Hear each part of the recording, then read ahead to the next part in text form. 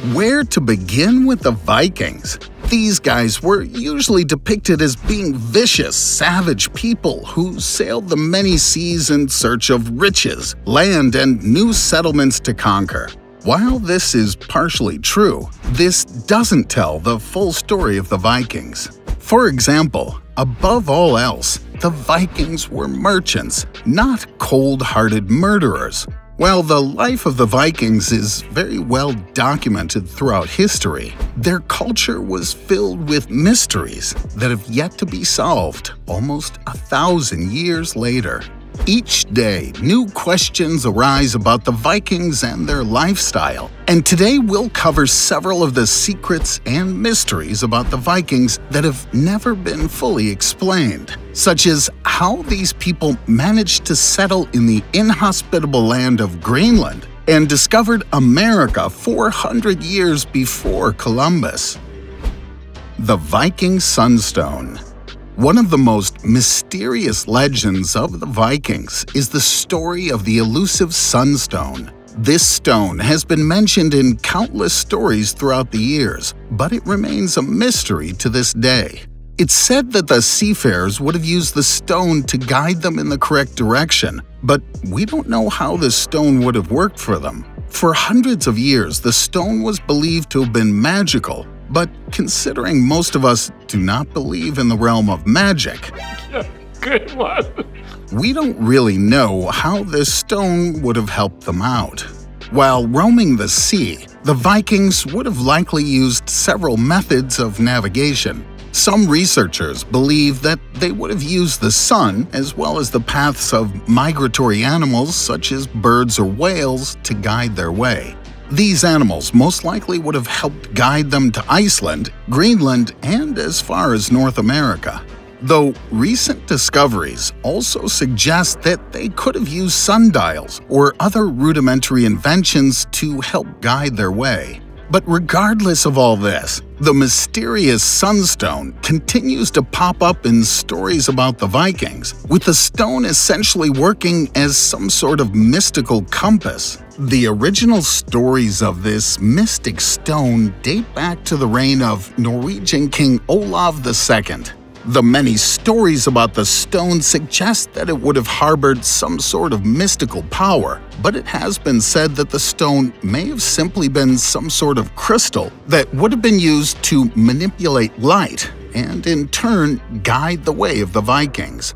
One theory claims that the stone could have been a special cut of calcite crystal, in modern times, these crystals have become popular for their ability to split light into several wavelengths, creating a rainbow effect whenever light shines through.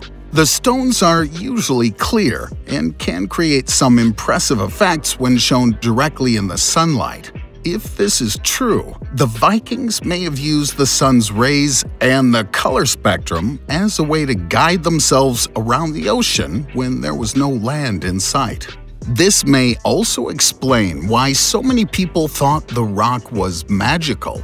Just think, you're back in the year 1000 and know virtually nothing about science, technology, or physics.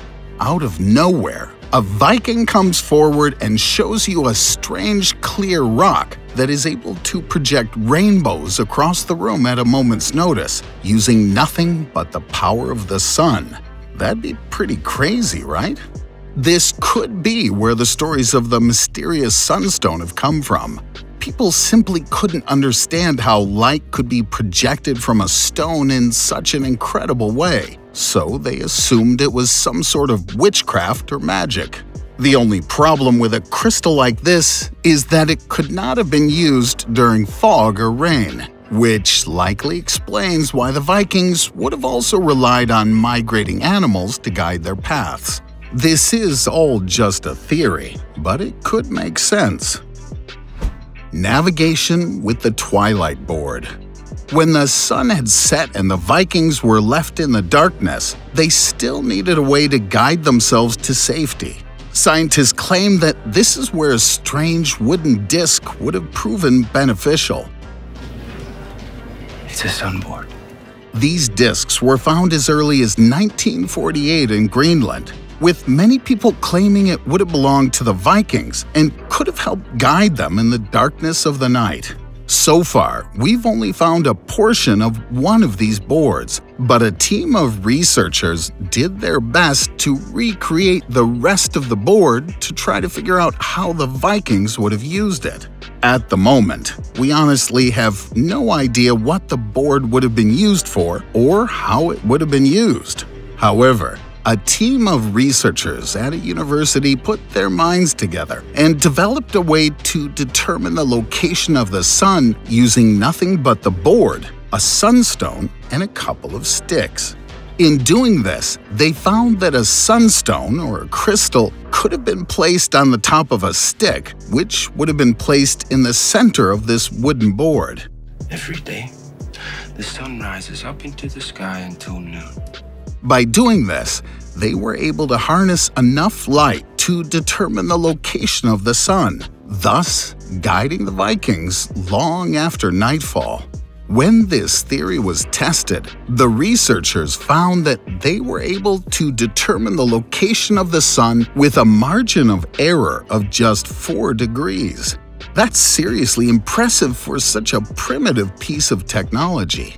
Imagine that, being able to guide yourself throughout the night using nothing more than a stick, a disc, and a rock. These guys may have been born over a thousand years before us, but they seem to have possessed knowledge we couldn't even dream of. That just goes to show, no matter how smart you may think you are, there's always someone out there who could outsmart you in the long run. The Ulfberht swords a Viking would be nothing without a sword, right? The swords of the Vikings were given the name Ulfberht swords. This is because the word Ulfberht was inscribed on the blades, with the name placed in between two crosses. These swords were incredibly unusual at the time and seem to have been created hundreds of years in the future, as they were absolutely incredible pieces of art. These swords were crucial to the Vikings and their countless raids. They were some of the highest quality swords in the world and were unmatched by any weapon an enemy force may use against them. These swords could cut through a human like a hot knife through butter. They were seriously sharp, and many remain sharp to this day, hundreds of years later. The quality of these swords was so remarkably high that humans would not be able to create such a sword again until 700 years later in the 18th century. The blades were not too soft and not too brittle, making them perfect for sharpening and tearing through villages. The swords were reserved for the most elite warriors and would have been incredibly expensive at the time considering how rare and valuable precious metals would have been. We don't know too much about these mysterious swords, but most researchers believe that the name that was given to them would have been a Franconian first name, rather than the name of the swords themselves. We don't know this for sure, but the swords remained mostly unchanged over the years and would have been created between the 9th and 11th centuries. This means that it would be highly unlikely, pretty much impossible, that they would have all been created by the same person. We don't know where the name came from, but historians say that the name could have been attributed to an important member of the Roman Catholic Church. The name could have belonged to a clergyman or even a monastery. We just don't know. What makes the name inscribed on these swords so mysterious is that we have texts and historical documents from the church at this time, yet no one with the name Ulfberht has ever been mentioned. At the moment, there are thousands of swords like this that have been found all throughout Europe and other parts of the world. The problem is that they've become so popular and valuable that they are widely available as counterfeits. At the moment, we only know of about 170 of these swords that are genuine, but there are hundreds more in the wild that have been created more recently. Some have even been found in parts of Asia, leading researchers to believe that the Vikings may have traveled much further than we could ever imagine. The most incredible thing is that the copies are almost as high quality as the originals. There's just something about this design that makes the swords almost indestructible. The Revninge Woman one of the most remarkable pieces of history that come from the Vikings is the famous sculpture known as the Revninge Woman. This sculpture measures just 4.6 centimeters and likely dates back to the year 800. What makes this figure so amazing is that its body is two-dimensional, though its head is three-dimensional. This is unlike any other piece of art from the time, and there are very few human-shaped sculptures that have come out of Nordic history. We don't know what this figure would have been used for, but many researchers believe that it could have been attached to a chain and worn as a piece of jewelry. When the piece was first discovered, the archaeologists believed it may have been a representation of the goddess Freya, though after taking a much closer look in the coming months and years, this is pretty unlikely. They realized that the sculpture had features that both represented a male and a female, so it seems highly unlikely the sculpture would have been a goddess, as the mythical goddesses of that time period would have had rather extreme features of either one gender or the other. It would be unusual for them to show the features of both. We believe the placement of the hands could represent fertility, and considering the sculpture doesn't wear any sort of headgear or hold any weapons, it's most likely a woman that would have worked alongside Odin, possibly a shield maid. The Vikings of Greenland We finally make our way to the Vikings of Greenland. We know the Vikings likely passed away sometime around the 15th century, and that for many of them, their final resting place would be in Greenland.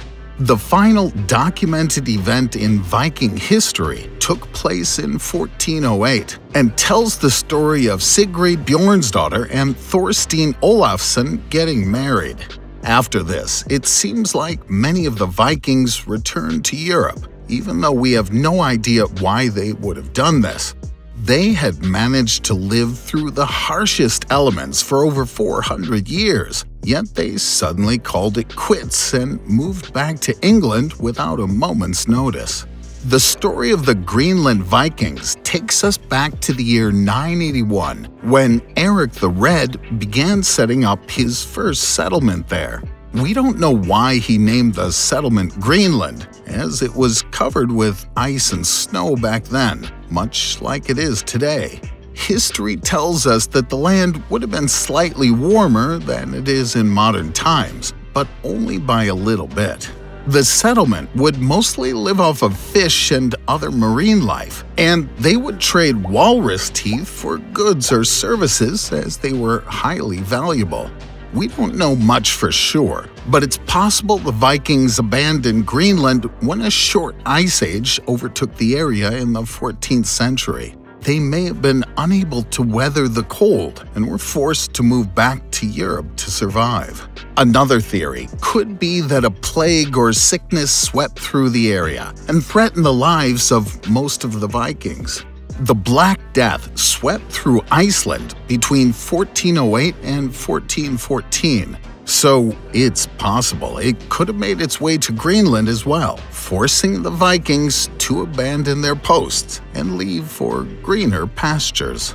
Thanks so much for watching. Be sure to hit that like button and ring the notification bell for more videos.